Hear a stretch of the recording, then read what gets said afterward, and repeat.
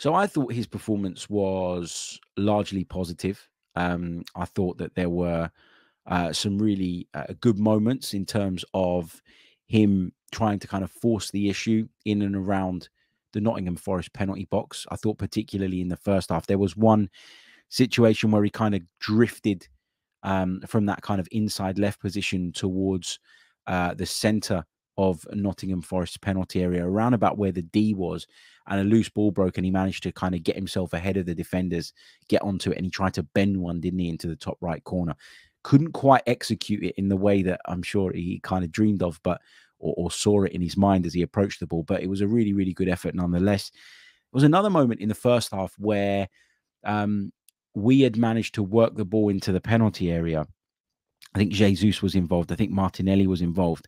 And the ball kind of broke inside the box. And Emile Smith Rowe was the quickest and sharpest to react. And he just got a toe to the ball to kind of tee it up for Bukayo Saka, whose effort then took a deflection, uh, but certainly looked like it was bound for the bottom corner. So Emile Smith Rowe to me um, looked like he was not always on the ball, maybe as much as I'd like in the first half, in terms of, you know, some people would disagree with this. I like Emile Smith Rowe to be involved in the build up.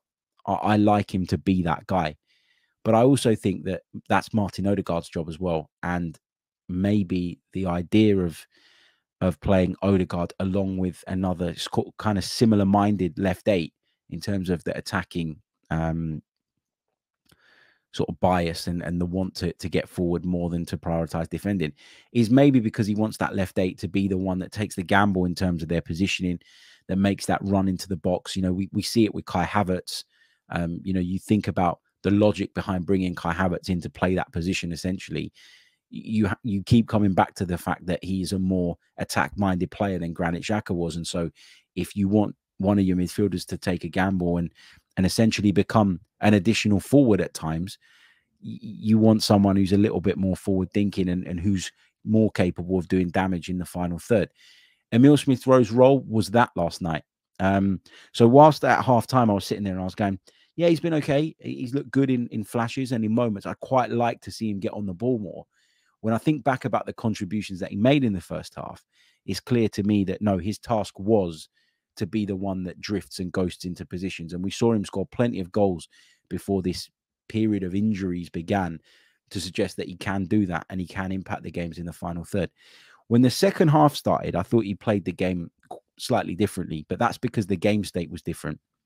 As I mentioned a little bit earlier on in the podcast, there was more space, there was more room um, for him to travel into with the ball at his feet. I think in the first half, he spent a lot of time coming really wide um, with Gabriel Martinelli, trying to link up with him. And then at other times, he drift in towards the edge of the penalty area, looking to make things happen there.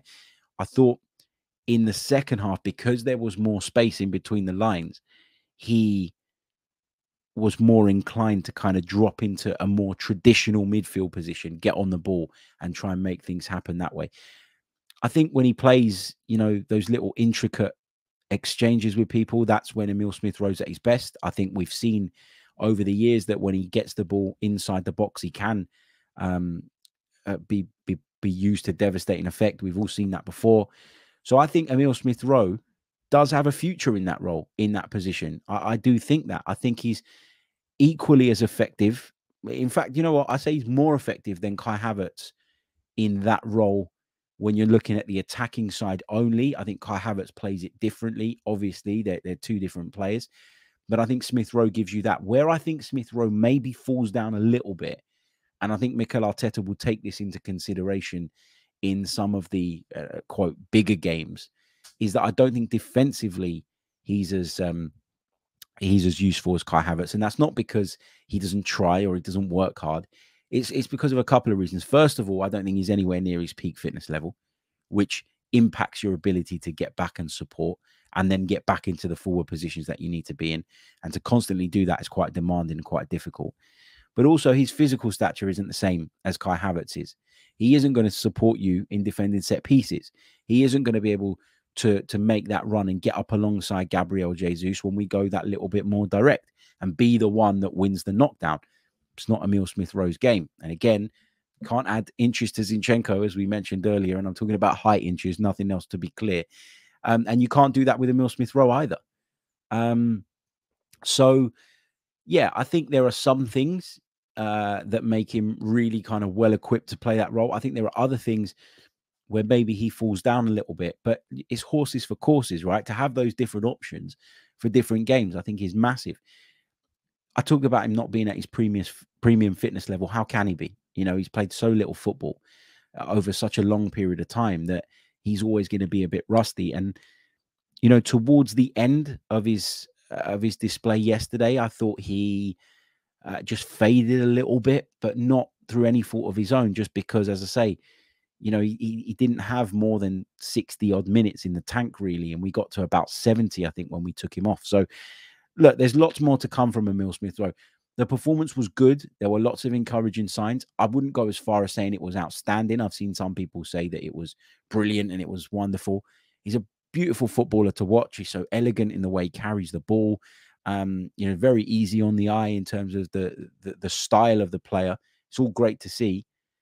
I think the the most significant thing to take away from yesterday's game when it comes to Emile Smith Rowe is not what he did in the game in terms of you know direct impact and you know you know contributing to the to the victory in terms of you know those means i.e scoring a goal creating an assist all the rest of it um i think it's the fact that Mikel Arteta had the trust in him, despite Kai Havertz being available. He's been a favourite of Arteta's really this season. I know he's left him out the side a few times, but he's been a regular selection. For Mikel Arteta to look at Emile Smith Rowe and think, yep, you know, you've you've been um, working really, really hard in training. You're getting there.